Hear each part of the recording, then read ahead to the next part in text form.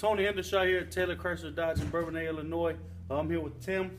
Tim's the proud owner of a, a new 3500 dually Ram uh, Cummins.